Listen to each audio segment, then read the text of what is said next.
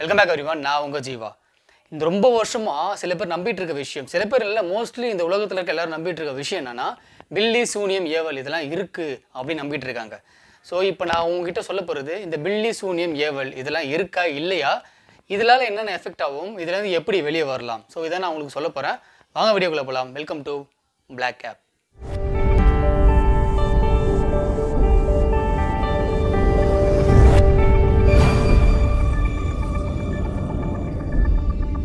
இந்த பில்லி சூனியம் ஏவல் இதெல்லாம் பார்த்தீங்கன்னா பிளாக் மேஜிக்னு சொல்லுவாங்க.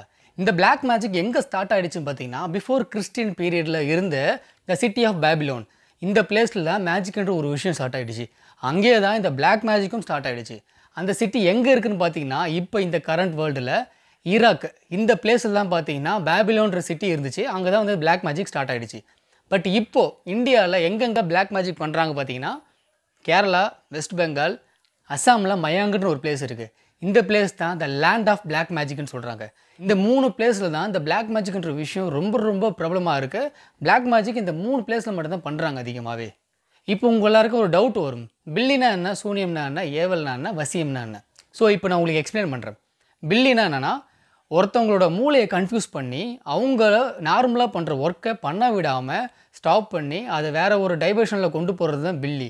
சூனியம்னா என்னென்னா இது வந்து கொஞ்சம் அட்வான்ஸ் லெவல் அவங்கள டோட்டலாக காலி பண்ணுறது அவங்க இருக்கிற இடத்த விட்டு டோட்டலாக காலி பண்ணி அவங்க நடுத்தெருவு கொண்டு வர்றது இல்லைன்னா டோட்டலாக அவங்கள காலி பண்ணுறது இதுதான் பார்த்தீங்கன்னா சூனியம் சொல்லுவாங்க.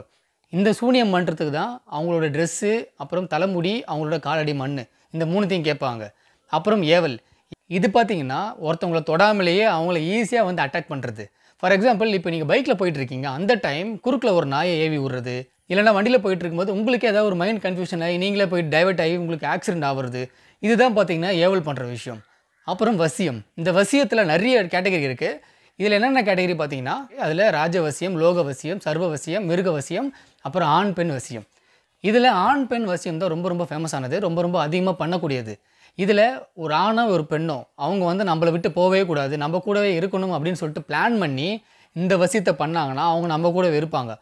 இந்த பிளாக் மேஜிக்கோட எஃபெக்ட் அண்ட் அதோட சொல்யூஷன் சொல்கிறதுக்கு முன்னாடி ஒரு முக்கியமான விஷயம் சொல்லணும்னு நினைக்கிறோம் அதுதான் பார்த்தீங்கன்னா இந்த மேக்னெட்டிக் ஃபீல்டு நம்ம உடம்ப சுற்றி ஒரு மேக்னெட்டிக் ஃபீல்டு இருக்கும். ஃபார் எக்ஸாம்பிள் நீங்கள் ஒரு மேக்னெட் எடுத்துக்கோங்க. அந்த மேக்னெட்டு பாசிட்டிவ் நெகட்டிவ் அப்சர்வ் பண்ணும். நெகட்டிவ் பாசிட்டிவ் அப்சர்வ் பண்ணும். ஆனால் அதை சுற்றி இருக்கிற மேக்னெட்டிக் ஃபோர்ஸ் நம்மளுக்கு தெரியாது. அதே மாதிரி தான் நம்ம உடம்ப சுற்றி ஒரு ஃபோர்ஸ் இருக்கும் அதை நம்மளால் பார்க்க முடியாது. அந்த ஃபோர்ஸ் தான் பார்த்தீங்கன்னா மேக்னெட்டிக் எனர்ஜி சொல்லுவாங்க. இதை தான் எல்லாரும் ஆறான்னு சொல்லுவாங்க. நம்ம உடம்பு சுற்றி ஒரு மேக்னெட்டிக் ஃபீல்டு இருக்கும். அந்த மேக்னெட்டிக் ஃபீல்டோட பேர் தான் ஆரா ஆனால் இது அப்படியே மேக்னெட்டிக் ஃபோர்ஸுக்கு ஆப்போசிட்டில் நடக்கும். நம்ம பாசிட்டிவாக இருந்தால் அது பாசிட்டிவாக அப்சர்வ் பண்ணும். நெகட்டிவாக இருந்தால் நெகட்டிவ் ரொம்ப ரொம்ப அப்சர்வ் பண்ணும். இதுதான் பார்த்தீங்கன்னா இந்த ஆரோவோட ஃபுல் எஃபெக்ட் ஃபார் எக்ஸாம்பிள் இப்போது நீங்கள் ஒரு பிஸ்னஸ் பண்ணிட்டு இருக்கீங்க உங்கள் ஃப்ரெண்டு ஒரு பிஸ்னஸ் பண்ணிட்டு இருக்காரு உங்கள் ஃப்ரெண்டு பண்ணுற பிஸ்னஸ் வந்து ரொம்ப ரொம்ப லாஸ் ஆகிடுச்சு அந்த டைம் உங்கள் ஃப்ரெண்டு வந்து உங்ககிட்ட இந்த மாதிரி என்னோட பிஸ்னஸில் லாஸ் ஆகிடுச்சுன்னு அப்படின்னு சொல்லிட்டு உங்ககிட்ட பேச வராரு. அவர் வரும்போது நெகட்டிவோட தான் வர நெகட்டிவ் எனர்ஜி தான் அது ஃபுல்லாக சரௌண்டிங் பண்ணியிருக்கு. ஸோ நெகட்டிவ் எனர்ஜியோட தான் வராரு. நீங்கள் வந்து ரொம்ப ரொம்ப பாசிட்டிவாக இருக்கீங்க. ஏன்னா உங்கள் பிஸ்னஸ் நல்லா போயிட்டுருக்கு. இப்போ உங்கள் ஃப்ரெண்டு உங்ககிட்ட வந்து இந்த மாதிரி என்னுடைய பிஸ்னஸ் வந்து லாஸ் ஆகிடுச்சு இந்த மாதிரிலாம் ப்ராப்ளம் வந்துருச்சு. இதெல்லாம் நான் ஃபேஸ் பண்ணால் ரொம்ப ரொம்ப கஷ்டப்பட்டேன் அப்படின்னு சொல்லிட்டு இருக்கும்போது அவரோட தாட் பார்த்தீங்கன்னா உங்களுக்கு வரும்.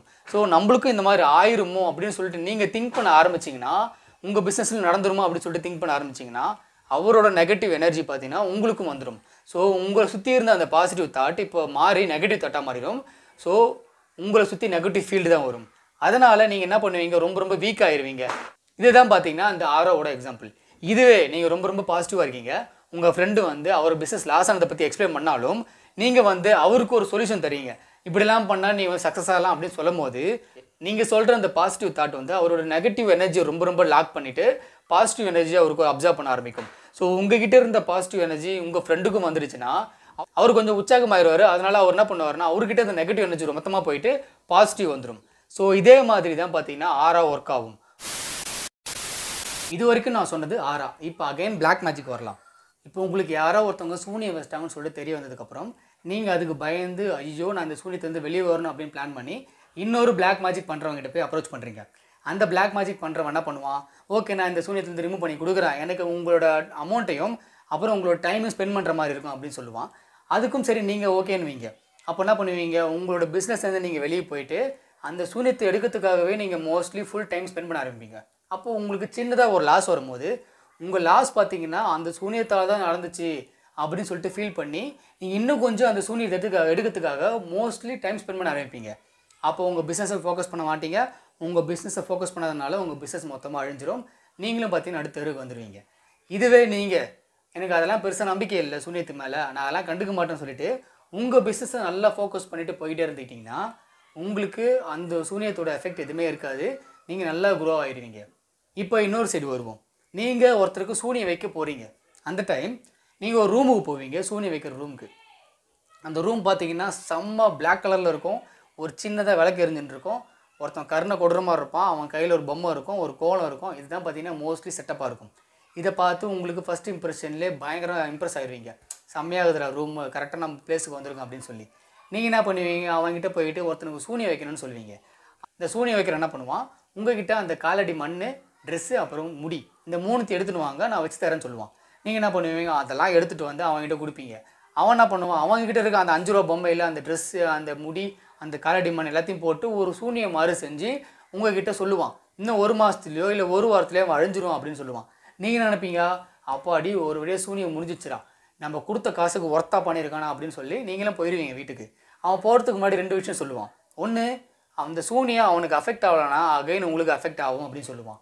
ரெண்டாவது விஷயம் குரு ஆதிக்கம் அதிகமாக இருக்கிறவங்க சுக்கரன் அதிகம் அதிகமாக இருக்கவங்க இந்த யோகா அதிகமாக பண்ணுறவங்க அப்புறம் பாசிட்டிவாக அதிகமாக திங்க் பண்ணுறவங்களுக்கு இந்த சூனியம் ஒர்க் ஆகாதுன்னுவான். இது ஏன் முன்னாடியே சொல்லலைன்னா முன்னாடியே சொன்னால் நீங்கள் பண்ணியிருக்க மாட்டீங்களா? அதான் வந்து லாஸ்ட்டாக சொல்லுவான்.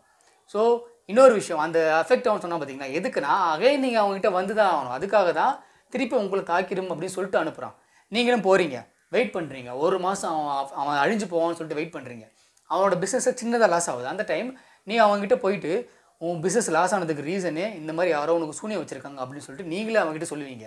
அந்த டைம் அவன் பயந்துட்டு ஃபஸ்ட்டு சொன்ன மாதிரி அவன் பண்ண ஆரம்பித்தானா அவன் பிஸ்னஸ் லாஸ் ஆகி நாசமாக போயிடுவான். அப்படி இல்லாமல் அவன் அதெல்லாம் எனக்கு பிரச்சனை கிடையாது. நான் பார்த்துக்கிறேன்னு சொல்லிட்டு அவன் அவன் லைஃப்பை பார்த்து ரன் பண்ணிட்டு போயிட்டே இருந்தானா அப்படின்னா அவனா உங்களுக்கு பயம் வர ஆரம்பிக்கும். ஐயோ நம்மளுக்கு அவன் சூனியம் வச்சுருக்கோம். ஆனால் அவனுக்கு எதுவுமே அவன் பாட் சக்ஸஸாக போயின்னு இருக்கான். அப்போ அந்த சூனியம் எனக்கு அடிச்சிருமான்னு சொல்லிட்டு நீங்கள் என்ன பண்ணுவீங்க? பயத்தில் இருப்பீங்க. அந்த பயமே உங்களுக்கு நெகட்டிவ் எனர்ஜி அதிகமாக கொண்டு வரும். நெகட்டிவ் எனர்ஜி அதிகமாக அதிகமாக உங்களுக்கு சின்னதாக லாஸ் ஆனாலும் இல்லை சின்னதாக ஆக்சிடென்ட் ஆனாலும் அதனால தான் ஆச்சுன்னு சொல்லிட்டு நீங்கள் ரொம்ப ஃபீல் பண்ண ஆரம்பிப்பீங்க பயப்படுவீங்க. ஓகே இதுதான் பார்த்தீங்கன்னா சூனியத்தில் இருக்கிற அந்த பிக்கஸ்ட் சீக்ரெட் இது யாருமே உங்கள்கிட்ட சொன்னது கிடையாது. இதுக்கு பின்னாடி இருக்க சயின்டிஃபிக் ரீசன் என்னென்னா இப்போ நீங்கள் ஒரு சூனியம் பண்ணுற பிளேஸுக்கு போகிறீங்க அந்த பிளேஸ் பார்த்தீங்கன்னா ஃபுல்லாக நெகட்டிவ் எனர்ஜியால் மட்டும்தான் இருக்கும். ஏன்னா அவங்க இருக்கிறவங்க எல்லாருமே தப்பாக தான் திங்க் பண்ணிட்டு இருக்காங்க. தப்பாக திங்க் பண்ணுறவங்க எல்லாருக்குமே நெகட்டிவ் எனர்ஜி மட்டும்தான் அதிகமாக இருக்கும். நீங்களும் நெகட்டிவ் எனர்ஜியோட தான் போகிறீங்க ஏன்னா நீங்களும் தப்பாக தான் திங்க் பண்ணிட்டு இருக்கீங்க. இப்போ போகும்போது அந்த எனர்ஜி ஃபுல்லாக உங்ககிட்ட வந்து நீங்களும் மொத்தமாக நெகட்டிவாக திங்க் பண்ண ஆரம்பிக்கிறீங்க. அதுவும் இல்லாமல் அவன் எப்போ அழிவான் எப்போ அழிஞ்சு போவான்னு சொல்லிட்டு திங்க் பண்ணிகிட்டே இருக்கும்போது இன்னும் கொஞ்சம் நெகட்டிவ் எனர்ஜி வந்துனே இருக்கும். அவன் அழியலைன்னா ஐயோ அழியலையே நம்மளுக்கு எதாவது ஆயிருமோன்னு சொல்லிட்டு நீங்கள் இன்னும் கொஞ்சம் நெகட்டிவ் திங்க் பண்ணிவிட்டு உங்கள் லைஃப்பை நீங்கள் இழந்துருவீங்க. அதுவும் உங்களால் தான் நடக்கும். இதான் பார்த்தீங்கன்னா மோஸ்ட்லி எனக்கு தெரிஞ்சு பிளாக் மேஜிக்கில் பண்ணுற விஷயம். இதுதான் வந்து சீக்கிரட்டாக இருக்கும். இப்போ உங்களுக்கு நெகட்டிவாக ஃபீலாக இருக்குது இல்லைனா வந்து உங்களுக்கு டிப்ரெஸ்டாக ஃபீல் ஆகிறீங்க இல்லைனா வந்து உங்களுக்கு சுற்றி இருக்கிறவங்க ஃபுல்லாக நெகட்டிவாக தான் பேசுகிறாங்க அப்படின்னா நீங்கள் பண்ண வேண்டிய ரெண்டே விஷயம். ஒன்று யோகா பண்ணுங்கள் யோகா பண்ணாலே உங்களுக்கு அந்த பாசிட்டிவ் எனர்ஜி அதிகமாக வரும். இன்னொரு விஷயம் டெம்பிளுக்கு போங்க. இந்த கோயில் சர்ச்சு இல்லைன்னா மசூதி. இந்த மூணு இடத்துக்கு போனாலே ரொம்ப அதிகமான பாசிட்டிவ் எனர்ஜி உங்களுக்கு கிடைக்கும். ஏன் அப்படி சொல்கிறேன்னா கோயிலில் பார்த்தீங்கன்னா யாருமே தப்பாக பேச மாட்டாங்க தப்பாக திங்க் பண்ண மாட்டாங்க. இன்கேஸ் கோயிலில் நீங்களே தப்பாக பேசினாலும் நீங்கள் என்ன நினைப்பீங்க? இது வந்து கோயில் நம்ம பேசக்கூடாது. இது வந்து சர்ச் இதில் பேசக்கூடாது அப்படின்னு சொல்லி திங்க் பண்ணுவீங்க. இல்லைனா உங்க கூட இருக்கிறவங்க தப்பாலாம் பேசக்கூடாது தப்பாக திங்க் பண்ணக்கூடாதுன்னு சொல்லிட்டு உங்களை வந்து கண்ட்ரோல் பண்ணுவாங்க. அப்படி கண்ட்ரோல் பண்ணும்போது உங்களுக்கு இருக்கிற அந்த நெகட்டிவ் தாட் மொத்தமாக போயிட்டு பாசிட்டிவ் எனர்ஜி மட்டும்தான் ஸ்ப்ரெட் ஆகும். இந்த கோயிலுக்கு வரவங்க சர்ச்சு மசூதி இந்த மூணு பிளேஸுக்கும் வரவங்க பார்த்தீங்கன்னா ரொம்ப பாசிட்டிவாக வருவாங்க. பாசிட்டிவாக வர எல்லாருமே பார்த்தீங்கன்னா ரொம்ப பாசிட்டிவ் எனர்ஜி ஸ்ப்ரெட் பண்ணுவாங்க. பாசிட்டிவ் எனர்ஜி ஸ்ப்ரெட் பண்ணும்போது கூட இருக்கிறவங்களுக்கும் அந்த எனர்ஜி ஸ்ப்ரெட் ஆகும். ஸோ நீங்களும் பார்த்தீங்கன்னா ரொம்ப பாசிட்டிவாக ஃபீல் பண்ணுவீங்க. நீங்கள் ஒன்ஸ் அந்த பிளேஸை விட்டு வெளியே போகும்போது உங்களுக்கு வந்து ஒரு நிம்மதியாக இருக்கும் ஒரு மாதிரி ஃபீல் ஆகும். ஓகே நம்ம ஏதோ ஒன்று பண்ணிட்டு வந்துட்டோம் நம்மளுக்கு வந்து எந்த ப்ராப்ளமும் இல்லை நம்ம கடவுளை பார்த்துப்பாங்க அப்படின்னு சொல்லிட்டு ஒரு நம்பிக்கை வரும். ஏன்னு பார்த்தீங்கன்னா அங்கே இருக்க பாசிட்டிவ் எனர்ஜி மட்டும்தான் இந்த மாதிரி வேலையெல்லாம் பண்ணுது. இதுவே நீங்கள் சில பேர் சொல்லுவாங்க ஆயிரம் வருஷம் பழமையான கோயிலுக்கு போ ரொம்ப ஓல்டு டெம்பிளுக்கு போ அப்படின்னு சொல்லுவாங்க. எதுக்கு அப்படி சொல்கிறாங்கன்னா ரொம்ப ஓல்டஸ்ட் டெம்பிள்னா நிறைய பேர் வந்திருப்பாங்க நிறைய பேர் வந்து தங்கி நிறைய பேர் பார்த்தீங்கன்னா நிறைய பாசிட்டிவ் எனர்ஜி ஸ்ப்ரெட் பண்ணியிருப்பாங்க. அப்படி பாசிட்டிவ் எனர்ஜி ஸ்ப்ரெட் பண்ண பீப்புள் எல்லாருமே ரொம்பவும் பாசிட்டிவாக திங்க் பண்ணுவாங்க. நீங்களும் அந்த பிளேஸுக்கு போனீங்கன்னா உங்களுக்கும் அந்த பாசிட்டிவ் எனர்ஜி அப்சர்வ் பண்ணிக்கும். நீங்களும் பார்த்தீங்கன்னா ரொம்ப பாசிட்டிவாக இருப்பீங்க. நீங்கள் ஒன்ஸ் அந்த பிளேஸ் விட்டு வெளியே வரும்போது ஒரு நம்பிக்கை வரும் உங்களுக்கு. ஓகே எனக்கு ஏதோ ஒரு பாசிட்டிவ் எனர்ஜி ஃபீல் ஆகுது அப்படின்னு சொல்லி.